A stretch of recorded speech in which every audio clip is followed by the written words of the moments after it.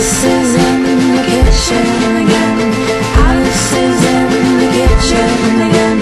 He keeps sticking to the. So Alice is